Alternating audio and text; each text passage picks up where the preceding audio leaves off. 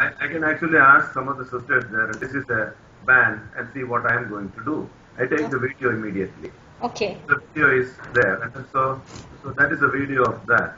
And so you, actually, uh, my students can actually see, and I'm getting a good collection now. I may not be able to understand everything, but I'm just trying to say that uh, the phone is not just a phone; it is a, lots of things. So it out, acts as a cloud storage, and all the emails will come. So these advances. See, the advances are not just medical advances. The advances, eh. every advancement which is made any part of the globe will have to be incorporated into the medical system. By that can be done only by people like me who are teachers. Correct. So I conduct CMA programs hmm. whereby I tell the doctors buy a notebook, note. Now, see, this contains so and so, so and so things, and so many things can be. Uh, you, we can utilize that provided you have the knowledge.